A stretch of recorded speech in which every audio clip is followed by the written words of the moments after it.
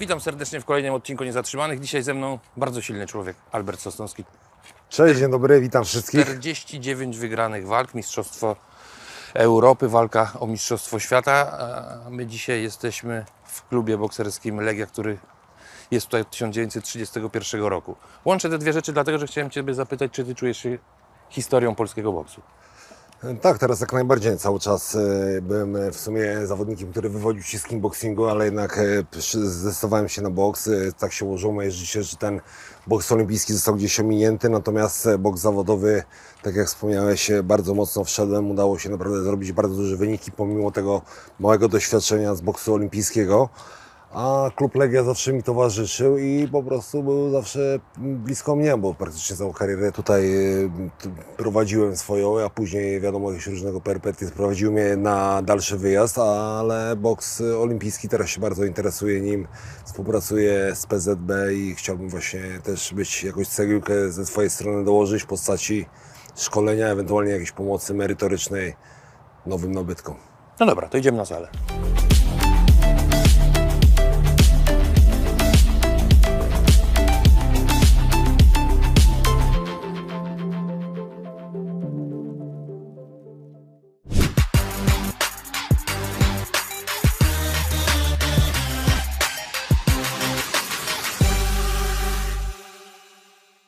Często wracasz myślami do czasów kariery i do swoich walk? Powiedziałem, czym dłużej jestem na takiej przysłowiowej emeryturze sportowej, tym e, częściej jakby miło wspominam właśnie całą tą przygodę związaną z moją karierą bokserską, szczególnie te największe walki, które otworzyły mi drogę do tej najważniejszej walki Mistrzostwa Świata Federacji WBC z Witaliem Kliczko w kategorii ciężkiej. Więc e, w różnych sytuacjach, szczególnie jak spotkamy się z znajomymi, poruszając są tematy sportowe, no to zawsze jakby jednak mimo wszystko każdy chce zapytać, jak to wyglądało, jak to się działo i tak w przybliżeniu, żeby opowiedzieć o tych właśnie najważniejszych wydarzeniach w mojej karierze sportowej, więc tak, wracam. Ta walka z Kliczko w Gelsenkirchen przy 80 tysiącach ludzi była na pewno najgłośniejsza, najbardziej spektakularna, ale nie wiem, czy najważniejsza. Bo kilka poprzednich musiało sprawić, że dostałeś taką szansę. Tak, no naprawdę, trzeba było wtedy już rozłożyć e, moją karierę na czynniki pierwsze, bo naprawdę faktycznie, tak w skrócie, byłem zawodnikiem, który przed kickboxingu do boksu, to jednak środowisko pięściarskie nie za bardzo tolerowało wtedy takich zawodników jak ja. Byłem e, od razu bardzo mocno prowadzony, dużo walk w pierwszym roku, fakt, że to były walki czterorundowe, ale mimo wszystko był pomysł taki na moją karierę, żeby uczyć się boksu zawodowego właśnie od razu w walkach, tak? I to, to, ma, to miało zrekompensować ten brak mojej kariery amatorskiej, więc e, bardzo mocne walki, dużo tych walk, e, mocne treningi. Później fakt, że ta kariera też nabrała rozpędu, bo akurat moja grupa połączyła się z grupą Matchroom e, Barego Herna, teraz aktualnie jest Eddie Hearn e, właścicielem tej grupy. No i rozpoczęły się wyjazdy do Anglii po całym świecie, więc e, tam też miałem okazję walczyć nie tylko na polskim rynku, więc można, można śmiało stwierdzić, to była przygoda życia. No i pierwszy poważniejszy tytuł mało znanej federacji WBF w Afryce Południowej, Mistrzostwo Świata, wygrałem tam e, ten tytuł. Natomiast e, później udało się zorganizować moją taką przygodę amerykańską i tam kilka dobrych walk, trenowanie w Top Rank Gym w Las Vegas razem z Grzegorzem Proksą, tam fajnie się zaklimatyzowaliśmy. Naszym trenerem był Lasz Loveres, z którym też właśnie trenowaliśmy na Węgrzech. No ale wypadek przy pracy, porażka z dobrym, twardym journeymanem, z Uli Laurencem. I jakby od, tamtej, od tamtego momentu ta przygoda nabrała nowego rozpędu. W skrócie po, można powiedzieć, że wróciłem do Europy. Wtedy na topie w wadze ciężkiej w Europie, w Anglii był e, Danny Williams, który chwilę wcześniej wygrało z, z legendarnym żelaznym Mike'iem Tysonem i jak gdyby walka z nim miała być tylko dla niego spacerkiem, jak potwierdzeniem swojej klasy, a nagle się okazało inaczej, przegrywa Danny Williams e, ze mną e, przed czasem. Ja bardzo wysoko awan- awansuję w rankingach, e, szybko dostaję od razu walkę o Mistrzostwo Europy ze świetnym e, olimpijczykiem, medalistą olimpijskim, e, dobrym e, amatorem, ale też zawodowcem. E, Wi- Paulo Widozem, wygrywam ten tytuł. No i wtedy, jak widzieliśmy, były czasy braci Kliczko, jeden e, Witalij i Władimir. Oni z reguły tak się uzupełniali, że nie walczyli z tymi samymi zawodnikami w obronie swoich pasów. Jak się okazało wtedy, Witalij miał dobrowolną obronę, więc mógł skorzystać e, z walki z kimś zawodnikiem z 15 danego rankingu. a Mistrzostwo Europy gwarantowało mi pierwszą dziesiątkę tego rankingu, więc między innymi jakby wybierali, dogadywali się z różnymi osobami, ale jednak te negocjacje okazały się najlepsze tutaj z moją grupą, z moimi e, promotorami i Nie menedżerami. miałeś żadnych wątpliwości od razu w co wszedłeś? Sama, sama informacja o tym była dla mnie zaskakująca. Oczywiście wielki szok, e, zdziwienie, takie przejście takich emocji, dreszczy, bo wiedziałem, z czym to się wiąże. No ale oczywiście decyzja była na tak. Wiedziałem, że taką szansę mogę dygresję dostać, a w sumie cho- chodziło o to w całej karierze, żeby tak poprowadzić mo, moją karierę. E, Pomimo moich takich deficytów e, umiejętnościowych, żeby, żeby otrzymać taką walkę. No i udało się do tej walki doprowadzić. Więc byłem e, mega zadowolony. Pozmienialiśmy cały sztab szkoleniowy, nie było na to dużo czasu, ale jak gdyby wywróciliśmy wszystko do góry nogami. Naprawdę ciężko pracowałem i z wiarą w to, że mogę zrobić niespodziankę. No to jest boks i ta jeden cios może w kategorii ciężkiej zmienić wynik walki. Wierzyłem w to bardzo mocno, natomiast e, wiadomo, że ring weryfikuje wszystko i to były troszkę powiem, poza moim zasięgiem, ale cała przygoda związana z tym i moja postawa w tej walce okazało odbija się dużym echem i dziękuję tym wszystkim kibicom, którzy jakby fajnie to ocenili, uznali, że naprawdę z moimi możliwościami dałem siebie wszystko, więc e, jestem za to wdzięczny. I Jak dzisiaj bardzo- myślisz o tej walce, to myślisz, że dźwignąłeś to wszystko mentalnie? Bo jak się zas- zastanawiam, jak się czułeś wchodząc na tak gigantyczny stadion, cała ta otoczka walki o Mistrzostwo Świata, no to wszystko było spektakularne. Tak, myślę, że tak. Myślę, że dźwignąłem. No właśnie dużo zwracaliśmy też na temat podejścia, samego nastawienia, e, sesję z psychologiem przed e, tą walką, żeby jednak e, ten początek nie odebrał mi 60% siły, tylko postawił to, że po prostu ja jestem tutaj na pozycji wygranej, nie mam nic do stracenia i tutaj każdy mój dobry występ będzie mi gwarantował e, dobrą pozycję. Wiadomo, że to jest e, sport kontaktowy i tutaj jeden cios może zmienić obraz walki, ale również twoje zdrowie. Wiadomo, gdzieś to z tyłu głowy zawsze jest, nikt za ciebie do ringu nie wyjdzie, więc wszyscy mogą ci mówić dobre słowa, klepać ci po plecach, ale na samym końcu zostajesz sam, wchodzisz do międzyliny i już jakby wszystko się zamyka i już zostajesz tylko ty i przeciwnik, ale cała ta otoczka, cała ta właśnie przygotowanie mentalne, głośne odgrywanie tego wejścia Witalia Kliczko dzwony piekieł, bo on przez Hells Bells chodzi, żeby to od razu mnie jakby nie zelektryzowało, żeby mnie nie spięło, powodowało to, że jakby byłem przygotowany. Wiedziałem, że wszystko jest w moich rękach, tak sobie to wytłumaczyłem, wszystko zależy ode mnie i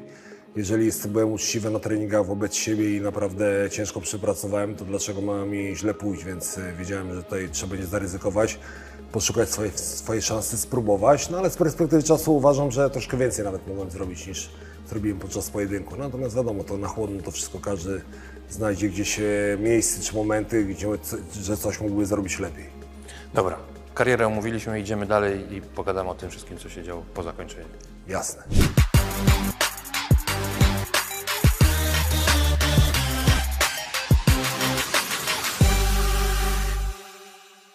Albert, byłeś gotowy na koniec kariery? E, Powiem szczerze, cały czas przedłużałem w czasie zakończenie swojej kariery, no bo ciągle jakby wierzyłem w to, że jeszcze mogę wrócić, jeszcze mogę coś zaboksować. E, Wiadomo, że zdawałem sobie sprawę, że będzie brakować mi tej sali, tej, tej adrenaliny, tego stresu, który towarzyszy zawsze walce i jakby to jest potem już taka codzienność e, sportowca zawodowego, tak brak tego, tych emocji. No i więc e, odwlekałem, odwlekałem, ale później jednak zdrowie i weryfikacja w ringu jakby potwierdziła mnie, że to już czas, żeby odejść i odłożyć rękawice do szafki. Kiedy byłeś zawodowym sportowcem, szykowałeś się do walki 6, 8, 10 tygodni, miałeś rozpisany plan na każdy dzień, wiedziałeś co robisz, wszystko było poukładane. A kiedy tego nie ma, łatwo było się odnaleźć? Myślę, że to jest indywidualne podejście, bo potem e, człowiek też e, dorasta, dojrzewa i jak gdyby tworzy rodzinę, robi inne rzeczy, które jakby też go zatrzymują w domu i musi sobie to w głowie ułożyć. Nie jest to łatwa sprawa, no ja też e, miałem z tym problem, natomiast wsparcie osób najbliższych, nie wiem, żony, dziewczyny, narzeczonej, rodziców, e, rodzeństwa, w jaki sposób łatwiej jest później znaleźć tą drogę, którą chce się podążać. Można stworzyć jakieś tam e, sobie wizję tego, co będzie się robiło dalej.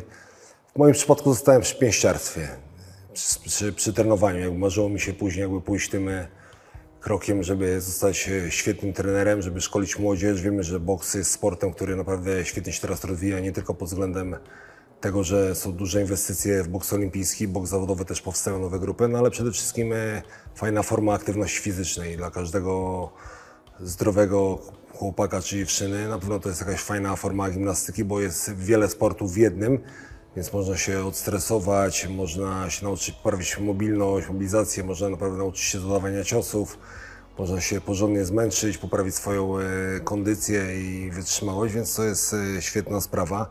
No ja akurat e, poszedłem też w tym kierunku, że założyłem e, swoją fundację Fight for Life i ta fundacja właśnie ma na, na celu wyciągnięcie ludzi z tych trudnych środowisk e, i przez sport pokazanie, że można naprawdę dużo osiągnąć, że wystarczy siebie wierzyć i liczę na to, że otrzymam różnego rodzaju wsparcie państwa, dotacje, które składamy regularnie po to, żeby jednak ta młodzież przyszła na salę treningową, żeby jednak te mieszane sztuki walki czy walki freakfightowe nie, niekoniecznie teraz dał im tą drogę do, do kariery, a jednak e, stary nasz poczciwy boks pokazał, że tutaj też można naprawdę fajnie zmienić swoje życie i być dobrym człowiekiem.